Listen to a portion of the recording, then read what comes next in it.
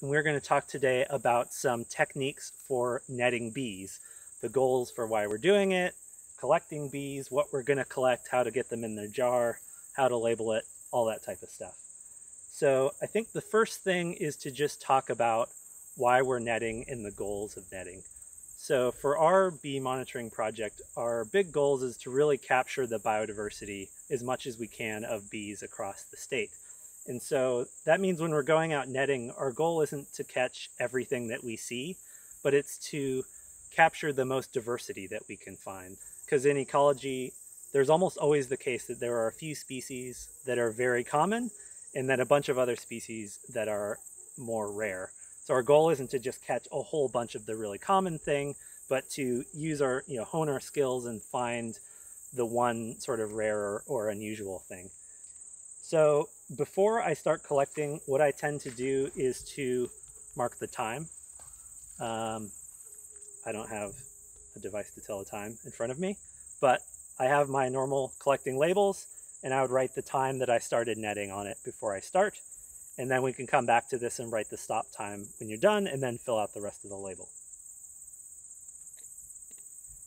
And if, if you know your plants, it's not a bad idea to kind of make a note of what plants you're looking at. This is a type of goldenrod, so solidago. Um, often it's not as important to get the species, but if you know, for example, a common name or the genus, so this, this, there's lots of species of solidago, but so on, on my label, we'll write uh, solidago for here because that's one of the common plants. Um, so let's get on to just netting, the techniques for netting. There's a lot of different ways to do it and depend on who you talk to, they would give you different advice. But in general, one way to think about it is to focus on the flowers and wait till things land on flowers and then move quickly, kind of bashing through the flower to collect them. So we have a number of things here. So far, I'm not seeing um, any bees at the moment. So let's move down a little bit. There's a wasp. Don't really want to catch a wasp. Um, so there, see that's, I can't tell if that's a bureau. I think it might be a Hylaeus. And now it's gone. The things that are interesting are often pretty fast. So, let's see. I could catch a bunch of mosquitoes if I wanted. There's a honeybee. That's kind of boring. Uh, I remember someone asked me if we should collect honeybees, and I was like, I don't know, maybe collect one, but I don't know that it really serves the purposes of our project much to collect honeybees. Mostly flies I'm seeing right now. That's a fly. Where's a bee when you want it? So also one thing about bees is their activity changes throughout the year, but also throughout the day. So depending on changes in temperature and humidity, the bee activity can change quite radically. Even just since we've been here, when we first got here, I saw a number of bees and now I don't see any. That's a wasp.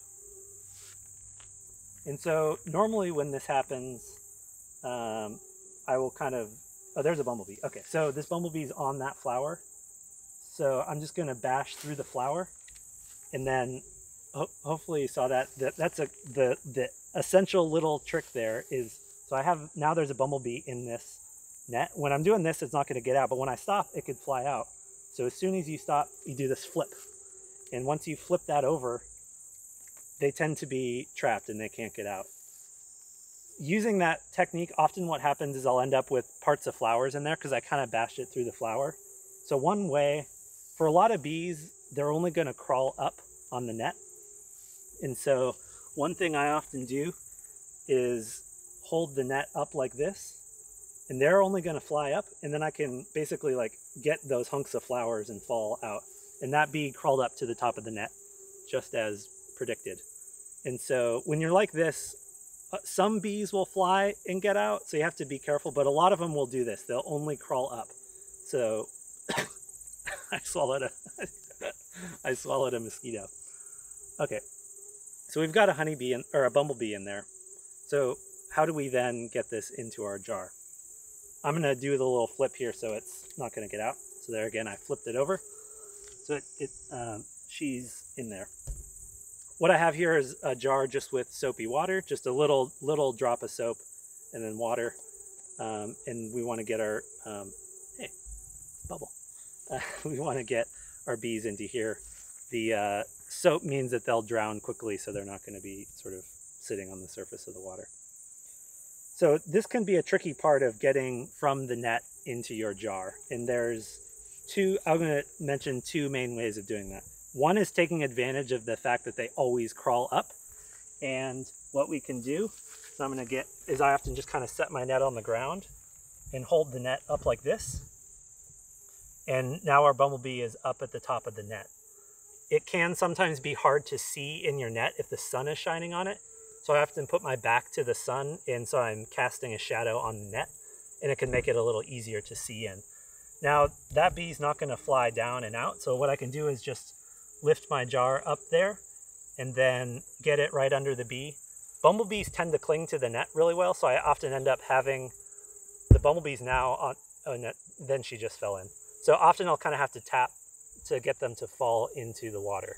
But that that's the that's one main technique is to basically just hold your net up like this and then reach up and then um, get them to fall off the net and use gravity to fall into your jar.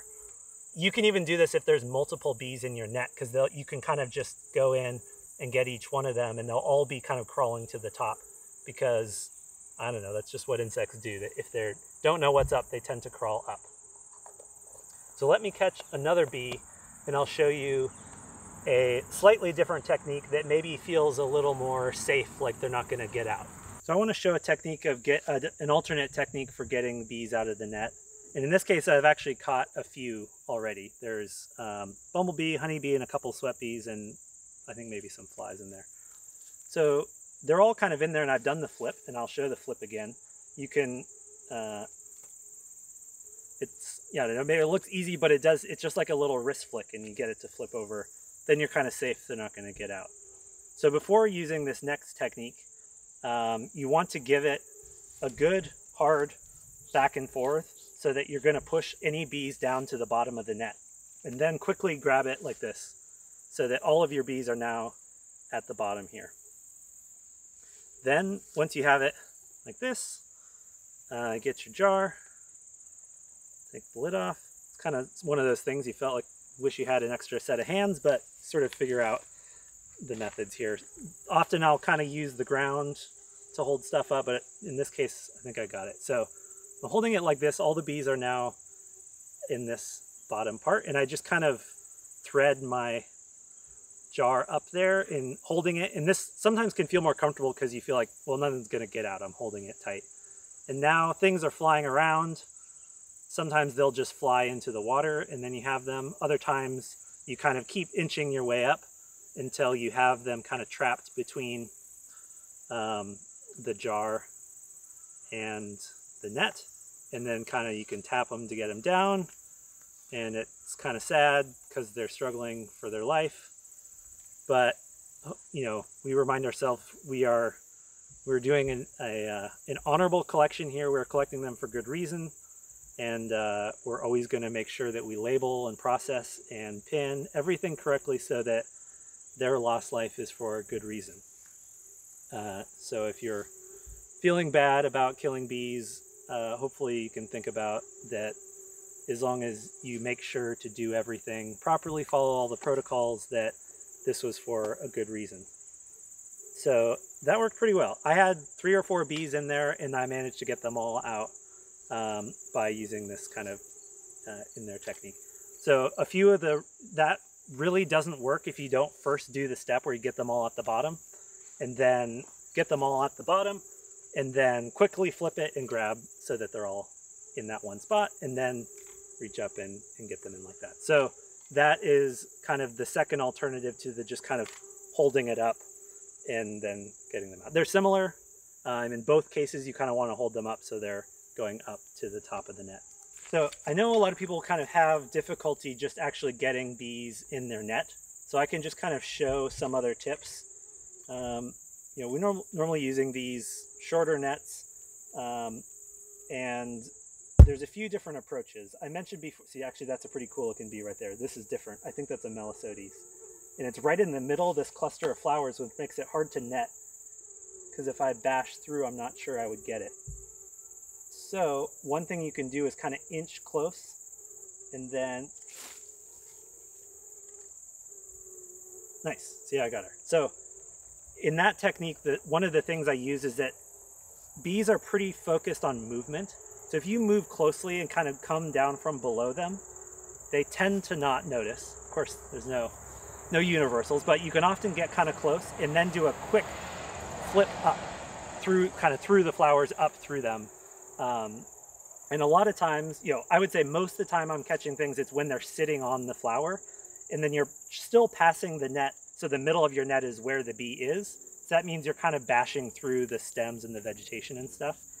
And that's just, you know, it just seems to be the most reliable way most of the time. Sometimes you can just wave above the flowers, but I would find that's always a little more iffy if you're going to catch anything. So um, this, again, I got some pieces of those flowers, which can make it hard to get it out. So I'm going to do this technique where I just hold it up like this, and the bee will almost always be crawling or flying up to the top of the net, and you can kind of shake out the flower parts, although it's not working right now. There we go. The flower fell out and our bee. So if I flip that net over, she's probably going to get out. Uh, but she, so she's a little hard to see, so I'm going to do the technique where I hold it like this. So it's in there. Okay. And then like this. You'll notice bees have different personalities. Some of them will cling to the net. Some of them will fly around. Sometimes they're flying around enough that they just like zoom right into the water, which I, oh, uh, you're not even sure they got in the water. But this one's really, there we go can sometimes be hard to tell if you've got them there. Um, and there's a fly in there, which I have no need for, so I'm going to let them go. Okay, let's go over to some other flowers over here. You'll often, oh, there's a hylaeus. So this, I think that's a hylaeus. Well, see, I'm not sure. It could be a potter wasp, it could be a hylaeus. Since I can't tell, I'm going to catch it. So I know it's on that flower right there. I'm gonna again come right below and then flick quickly through the flower, flip. There we go, got him. Think it was getting out there. Yep, cool, still good. So I find smaller bees will less, they'll sometimes fly down. I think maybe they're just more willing to kind of fly in open space. Um, but the technique of holding it up still hanging there on the net. So I'm just going to hold hold the net up like this. Seems they could just fly out, but they're not really doing that just because that's the way they roll. So I just hold it up and then reach up. Often if you kind of just get your jar between the net, there we go, flew right in. Just kind of get it close to them, they'll fly and fly right into the water. So that was that you know, sometimes it can be hard to spot an individual bee, but you see a lot of bees there. So there can be cases if you see lots of little sweat bees and things that you can just kind of swing over the tops of the flowers like this. And there's times where I've caught like 20 sweat bees that way um, because it's not always that you spot an individual bee. You're like, there's bees in there. And you just kind of go for the region. That can work as well. Um, but yeah, I would say most of the time, the netting isn't like a big long swing. It's a quick, it's a little quick movement because you can get the net pretty close to them. So you're kind of sneaking up from below and then just a whoosh. And then you see, I do it, then the other thing is I'm noticing that when you swing quick enough, often you are breaking off the flowers, which I guess is kind of unfortunate, but you know, the flowers will survive, I guess.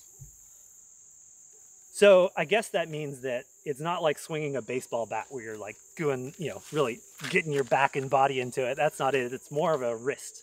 So I tend to kind of hold my net out at the end and then it's mostly a wrist movement. You're getting close and then just, and then with that wrist movement, hopefully you'll get used to, you probably notice every time I move the net, I'm just by default doing that flip. Whether I feel like I caught something or not, you should just do it every time because if you did catch something, it won't get away. If you didn't, whatever. You didn't. Um, after I'm done with things, I'll often just turn it inside out and give it a flick to get rid of any other chunks and stuff. Um, a couple other things to think about when netting is actually we've got a blackberry right here. So there's not flowers on this blackberry right now, but they are pretty popular. So depending on your net, um, you can kind of mess up your net if you're going to bash through blackberries, the thorns and stuff. This net's pretty rugged and I haven't had a problem with it, but you do want to be a little um, conscious of the plants so that you're not putting big holes in your net by bashing it through a bunch of thorns. Um, because yeah, as I said, normally I'm kind of hitting it through the vegetation a little bit, not just kind of out in open air. Um, I imagine some people might be thinking that the goal is just to like see the bee flying out and go like this. And yeah, you, you might catch a bee occasionally that way, but most of the time I would say go for the flowers. And that means when you're out looking to catch bees, kind of wander around and look for flowers that are popular. I find that on any particular day, there'll be a certain species of flower that's most popular on that day. And it might be different the next day, but um, so find those flowers that have a lot of bees on them and then go for those. Uh, but given that the goal is to get as much diversity as possible, it's good to look for other species. Sometimes there'll be little flowers close to the ground, um, things like that, that are good to look for because they might have different spe species of bees. So let's say we did uh, 30 minutes of collecting there.